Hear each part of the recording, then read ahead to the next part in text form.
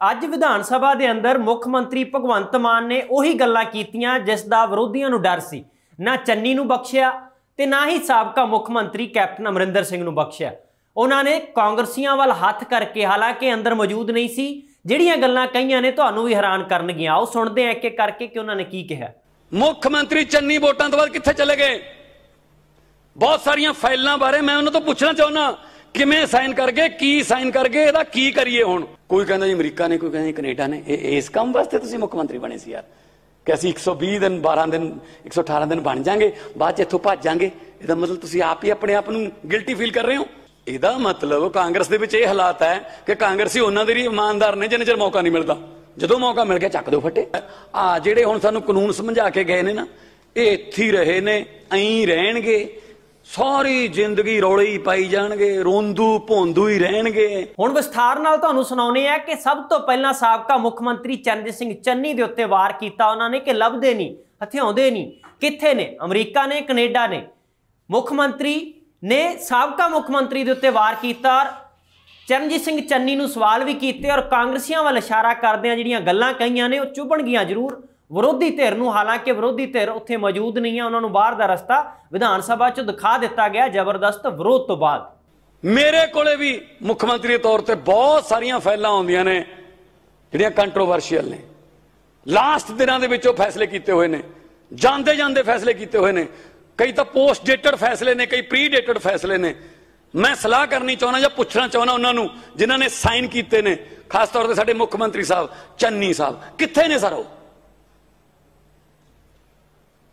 ਮੁੱਖ ਮੰਤਰੀ ਚੰਨੀ ਵੋਟਾਂ ਤੋਂ ਬਾਅਦ ਕਿੱਥੇ ਚਲੇ ਗਏ? ਬਹੁਤ ਸਾਰੀਆਂ ਫਾਈਲਾਂ ਬਾਰੇ ਮੈਂ ਉਹਨਾਂ ਤੋਂ ਪੁੱਛਣਾ ਚਾਹੁੰਦਾ, ਕਿਵੇਂ ਸਾਈਨ ਕਰਗੇ, ਕੀ ਸਾਈਨ ਕਰਗੇ, ਇਹਦਾ ਕੀ ਕਰੀਏ ਹੁਣ? ਤਾਂ ਸੱਤਾ ਟਰਾਂਸਫਰ ਵਾਸਤੇ ਵੀ ਨਹੀਂ ਤੁਸੀਂ ਮਿਲ ਸਕਦੇ ਸਾਨੂੰ। ਇਹ ਪਾਕਿਸਤਾਨ ਥੋੜੀ ਹੈ, ਸਰ। ਪਾਕਿਸਤਾਨ ਚ ਹੁੰਦਾ ਇਦਾਂ ਪ੍ਰਧਾਨ ਮੰਤਰੀਓ, ਜਿੱਦੇ ਲਾ ਤੇ ਜਾਂ ਤਾਂ ਭਾਜੋ ਜਾਂ ਫਾਂਸੀ। ਤੇ ਚੰਨੀ ਸਾਹਿਬ ਭੱਜ ਕਿਉਂ ਗਏ ਜੀ? ਮੈਂ ਇਹਨਾਂ ਨੂੰ ਪੁੱਛਣਾ ਚਾਹੁੰਦਾ, ਕਾਂਗਰਸੀਆਂ ਨੂੰ, ਕਿ ਆਪਦਾ ਸੀਐਮ ਦਾ ਕੈਂਡੀਡੇਟ ਦਿਖਾ ਦਿਓ ਕਿੱਥੇ ਹੈ। ਮੈਂ ਬਹੁਤ ਸਾਰੀਆਂ ਫਾਈਲਾਂ ਬਾਰੇ ਪੁੱਛਣਾ ਚਾਹੁੰਦਾ। ਉਹਨਾਂ ਨੇ ਡਿਸੀਜਨ ਲਏ ਹੋਏ ਨੇ। ਲਾਸਟ ਦਿਨਾਂ 'ਚ ਡਿਸੀਜਨ ਲਏ ਹੋਏ ਨੇ। ਕਿੱਧਰ ਗਏ? ਕੋਈ ਕਹਿੰਦਾ ਜੀ ਅਮਰੀਕਾ ਨੇ, ਕੋਈ ਕਹਿੰਦਾ ਜੀ ਕੈਨੇਡਾ ਨੇ। ਇਹ, ਇਸ ਕੰਮ ਵਾਸਤੇ ਤੁਸੀਂ ਮੁੱਖ ਮੰਤਰੀ ਬਣੇ ਸੀ ਯਾਰ। ਕਿ ਅਸੀਂ 120 ਦਿਨ 12 ਦਿਨ 118 ਦਿਨ ਬਣ ਜਾਾਂਗੇ, ਬਾਅਦ ਚ ਇੱਥੋਂ ਭੱਜ ਜਾਾਂਗੇ। ਇਹਦਾ ਮਤਲਬ ਤੁਸੀਂ ਆਪ ਹੀ ਆਪਣੇ ਆਪ ਨੂੰ ਗਿਲਟੀ ਫੀਲ ਕਰ ਰਹੇ ਹੋ?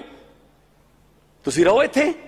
ਕਿ ਮੈਂ ਮੁੱਖ ਮੰਤਰੀ ਹੁੰਦਾ ਸੀ, ਸਾਬਕਾ ਮੁੱਖ ਮੰਤਰੀ ਬਹੁਤ ਸਾਰੇ ਰਹਿੰਦੇ ਨੇ ਇਹਦਾ ਮਤਲਬ ਕੁਝ ਨਾ ਕੁਝ ਗਲਤ ਕੀਤਾ। ਇਹਦਾ ਮਤਲਬ ਜਦੋਂ ਇਹਦਾ ਮਤਲਬ ਕਾਂਗਰਸ ਦੇ ਵਿੱਚ ਇਹ ਹਾਲਾਤ ਹੈ ਕਿ ਕਾਂਗਰਸੀ ਉਹਨਾਂ ਦੇ ਹੀ ਇਮਾਨਦਾਰ ਨੇ ਜਿੰਨੇ ਚਿਰ ਮੌਕਾ ਨਹੀਂ ਮਿਲਦਾ। ਜਦੋਂ ਮੌਕਾ ਮਿਲ ਗਿਆ ਚੱਕ ਦਿਓ ਫੱਟੇ। ਮੈਂ ਆਪ ਪੁੱਛਣਾ ਚਾਹੁੰਦਾ, ਸਰ, ਕਿ ਸਾਡਾ ਜਿਹੜਾ ਮੁੱਖ ਮੰਤਰੀ ਸੀਗਾ ਚੰਨੀ, ਉਹ ਕਿੱਥੇ ਹੈ? ਬਹੁਤ ਸਾਰੀਆਂ ਫਾਈਲਾਂ ਬਾਰੇ ਡਿਸਕਸ ਕਰਨਾ ਅਫਸਰ ਕਹਿੰਦੇ ਜੀ ਚੰਨੀ ਸਾਹਿਬ ਨੇ ਸਾਈਨ ਕੀਤੇ ਨੇ। ਮੈਂ ਕਹਿੰਦਾ ਜੀ, ਇਹਨੂੰ ਕਿਵੇਂ ਕਰੀਏ? ਤਾਂ ਬਹੁਤ ਹੀ ਲੋਕਾਂ ਦੇ ਵਿਰੁੱਧ ਫੈਸਲਾ ਹੈ। ਕਹਿੰਦੇ ਜੀ, ਹੁਣ ਕੀ ਕਰੀਏ? ਚੰਨੀ ਸਾਹਿਬ ਨੇ ਕੀਤੇ ਨੇ। ਵੀ ਇਹਨੂੰ ਵਾਪਸ ਕਿਵੇਂ ਲਈਏ? ਜਾਂ ਚੰਨੀ ਸਾਹਿਬ ਨੂੰ ਪੁੱਛੀਏ ਕਿਉਂ ਲਏ ਫੈਸਲੇ? ਨਹੀਂ। ਉਹ ਲੱਭੇ ਨਹੀਂ ਕਿਤੇ। ਆ ਜਿਹੜੇ ਹੁਣ ਸਾਨੂੰ ਕਾਨੂੰਨ ਸਮਝਾ ਕੇ ਗਏ ਨੇ ਨਾ, ਇਹ ਇੱਥੇ ਹੀ ਰਹੇ ਨੇ, ਐਂ ਰਹਿਣਗੇ। ਸਾਰੀ ਜ਼ਿੰਦਗੀ ਰੌਲੇ ਹੀ ਪਾਈ ਜਾਣਗੇ, ਰੋਂਦੂ ਭੋਂਦੂ ਹੀ ਰਹਿਣਗੇ। ਆ ਨਹੀਂ ਹੋਇਆ ਮੁਰਦਾਬਾਦ, ਉਹ ਨਹੀਂ ਹੋਇਆ ਮੁਰਦਾਬਾਦ। ਨਗੋਚੇ ਹੀ ਕੱਢੀ ਜਾਣਗੇ, ਨੁਕਸੀ ਕੱਢੀ ਜਾਣਗੇ। ਕਦੇ ਕੋਈ ਚੰਗੇ ਕੰਮ ਦੀ ਤਾਰੀਫ ਕਰਨੀ ਜੇ ਕਿਤੇ ਹੋ ਜੇ ਇਹਨਾਂ ਤੋਂ, ਤਾਂ ਇਹਨਾਂ ਨੂੰ ਇਹਨਾਂ ਦੇ ਅਕਾਵਾਂ ਦੇ ਫੋਨ ਆ ਜਾਂਦੇ ਨੇ, ਤਾਰੀਫ ਕਿਵੇਂ ਕਰਤੀ? ਆਪਾਂ ਤਾਂ ਸਿਰਫ ਨੁਕਸ ਕੱਢਣਾ ਹੈ। ਮੁੱਖ ਮੰਤਰੀ ਭਗਵੰਤ ਮਾਨ ਨੇ ਆਪਣੇ ਉਸੇ ਅੰਦਾਜ਼ ਦੇ ਵਿੱਚ ਨਾ ਤਾਂ ਕੈਪਟਨ ਅਮਰਿੰਦਰ ਸਿੰਘ ਨੂੰ ਬਖਸ਼ਿਆ। ਸਾਬਕਾ ਮੁੱਖ ਮੰਤਰੀ ਚਰਨਜੀਤ ਸਿੰਘ ਚੰਨੀ ਦੀ ਕਲਾਸ ਲਾਉਣ ਤੋਂ ਬਾਅਦ 4.5 ਸਾਲ ਦਾ ਹਿਸਾਬ ਲੈਣ ਦੇ ਲਈ ਔਰ ਉਸੇ ਵੱਲ ਇਸ਼ਾਰਾ ਕਰਦਿਆਂ ਵੀ ਮੁੱਖ ਮੰਤਰੀ ਭਗਵੰਤ ਮਾਨ ਨੇ ਕੀ ਕੁਝ ਕਿਹਾ ਕੈਪਟਨ ਅਮਰਿੰਦਰ ਬਾਰੇ ਉਹ ਵੀ ਸੁਣੋ। ਹੁਣ ਕੈਪਟਨ ਸਾਹਿਬ ਸਾਡੇ 4.5 ਸਾਲ ਮੁੱਖ ਮੰਤਰੀ ਰਹੇ, ਕਿਤੇ ਹੋਰ ਚਲੇ ਗਏ। ਇਹਦਾ ਮਤਲਬ 4.5 ਸਾਲ ਤੋਂ ਵੀ ਉਧਰ ਹੀ ਸੀ। ਇੱਕਦਮ ਤਾਂ ਮਨ ਬਦਲਿਆ ਨਹੀਂ ਹੋਣਾ। ਬਥੇਰਾ ਰੌਲਾ ਪਾਇਆ। ਤੁਸੀਂ ਵੀ ਉਦੋਂ ਆਪੋਜੀਸ਼ਨ ਚ ਹੁੰਦੇ ਸੀ। ਬਥੇਰਾ ਰੌਲਾ ਪਾਇਆ ਵੀ ਉਹਨਾਂ ਦੀ ਬੋਲੀ ਬੋਲਦਾ, ਨਹੀਂ ਮੰਨੇ।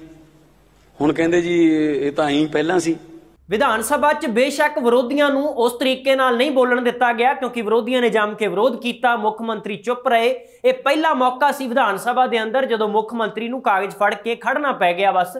ਬੋਲੇ ਕੁਝ ਨਹੀਂ। ਪਰ ਜਦੋਂ ਉਹਨਾਂ ਨੂੰ ਬਾਹਰ ਕੀਤਾ ਗਿਆ ਤੇ ਮੁੱਖ ਮੰਤਰੀ ਨੇ ਫਿਰ ਲਗਾਤਾਰ ਨਿਸ਼ਾਨੇ ਸਾਧੇ ਆਪਣੇ ਲੰਮੇ ਭਾਸ਼ਣ ਦੇ ਵਿੱਚ, ਉਸ ਦੇ ਵਿੱਚ ਕਾਂਗਰਸੀਆਂ ਨੂੰ ਖਾਸ ਕਰਕੇ ਨਿਸ਼ਾਨੇ ਤੇ ਲਿਆ, ਜਿੱਥੇ ਹੀ ਭਾਜਪਾ ਵੱਲ ਇਸ਼ਾਰਾ ਕੀਤਾ, ਉੱਥੇ ਹੀ ਕਾਂਗਰਸੀਆਂ ਵੱਲ ਹੱਥ ਕਰਦੇ ਉਹਨਾਂ ਨੇ ਕਿਹਾ ਕਿ ਸਾਰੀ ਉਮਰ ਰੋਂਦੂ ਰਹਿਣਗੇ। ਇਹਨਾਂ ਨੇ ਸਾਰੀ ਉਮਰ ਰੌਲਾ ਹੀ ਪਾਣਾ ਹੋਰ ਕੁਝ ਨਹੀਂ ਕਰਨਾ।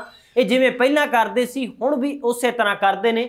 ਤਿੱਖੇ ਸ਼ਬਦਾਂ ਦੇ ਨਾਲ ਵਾਰ ਕਰਦੇ ਆ ਮੁੱਖ ਮੰਤਰੀ ਭਗਵੰਤ ਮਾਨ ਨੇ ਆਪਣੇ ਵਿਰੋਧੀਆਂ ਨੂੰ ਫਿਰ ਜਵਾਬ ਦਿੱਤਾ, ਕਿਉਂਕਿ ਭਰੋਸਗੀ ਦੇ ਮਤੇ ਦੇ ਉੱਤੇ ਲਗਾਤਾਰ ਵਿਰੋਧੀ ਸਵਾਲ ਕਰ ਰਹੇ ਸੀ ਕਿ ਜਨਤਾ ਦਾ ਪੈਸਾ ਬਰਬਾਦ ਕੀਤਾ ਜਾ ਰਿਹਾ ਕਰੋੜ ਰੁਪਈਆ ਖਰਚ ਕਰਕੇ ਕੀ ਸਾਬਤ ਕਰਨਾ ਚਾਹੁੰਦੀ ਹੈ ਮਾਨ ਸਰਕਾਰ? ਤਾਂ ਉਸੇ ਕਿੜ ਦੇ ਵਿੱਚੋਂ ਹੀ ਜਵਾਬ ਹੈ ਜਿਹੜਾ ਨਜ਼ਰ ਆ ਰਿਹਾ ਉਹ ਕੀ ਹੈ? ਉਹ ਵੀ ਸੁਣਦੇ ਹਾਂ।